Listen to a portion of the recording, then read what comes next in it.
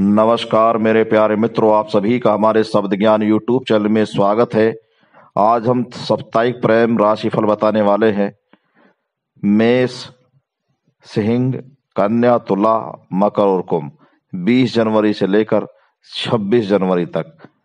तो सबसे पहले हम बताने वाले हैं, मेष राशि के जातकों का ये सप्ताह प्रेम संबंध के मामले में कैसा रहने वाला है। मेष राशि के जो जातकों के प्रेम संबंधों में पड़े हैं, उनके लिए सप्ताह बहुत लाभदायक रहने वाला है। इस सप्ताह आप अपने लवमेट के साथ कहीं घूमने का प्लान बना सकते हैं।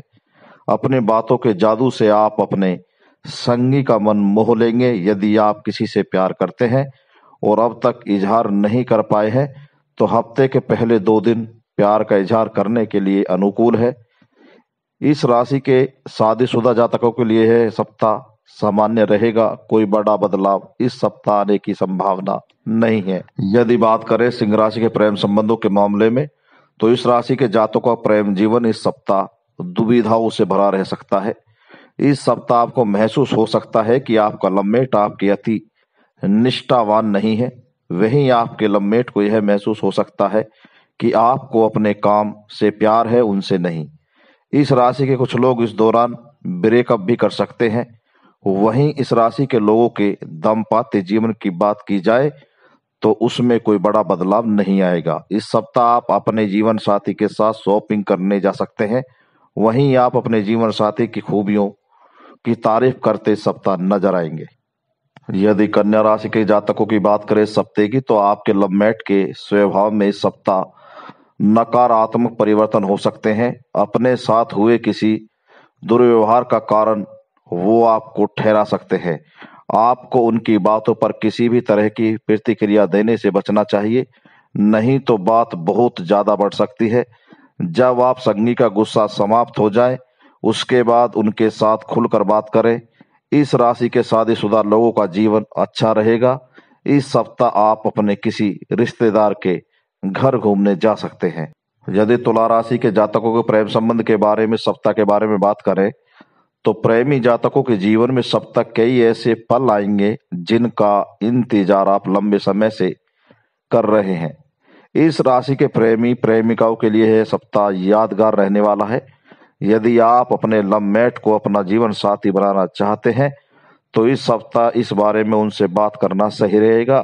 वहीं इस राशि के शादीशुदा जातकों की बात की जाए तो वो अपने और अपने साथी के स्वास्थ्य को लेकर इस सप्ताह ज़रूरत से ज़्यादा सतर्क रहेंगे। यदि आपके घर में नया मेहमान आने वाला है तो आप अपने घर की साफ़ सफ़ाई का विशेष ध्यान दें। यदि मकर राशि के प्रेम संबंधों के बारे में बात करें सप्ताह की तो प्रेम के रिश्ते में ईमानदार रहने की आपको ज़रूरत है।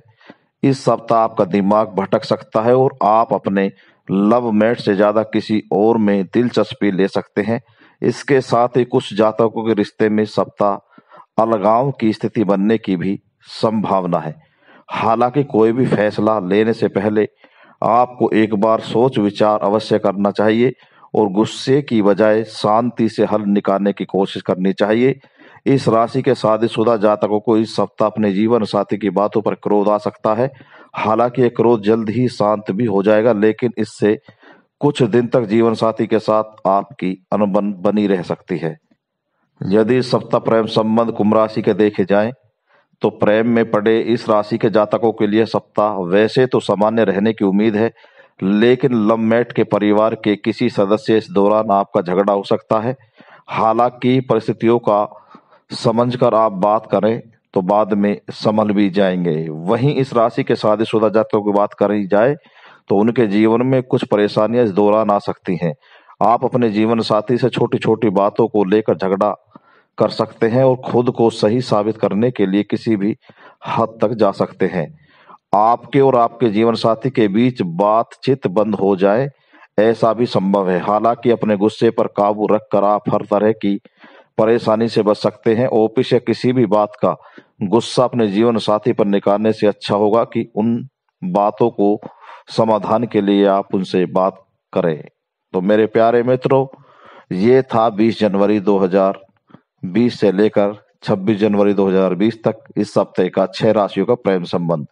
यदि आपको अच्छा लगे, सत्य लगे तो लाइक एंड शेयर कर देना कमेंट बॉक्स में ज़रूर लिखना। इसी के साथ आप सभी को मेरा नमस्कार। फिर मिलूँगा नई ऑडियो वीडियो के साथ। जब तक के लिए जय हिंद, जय भारत।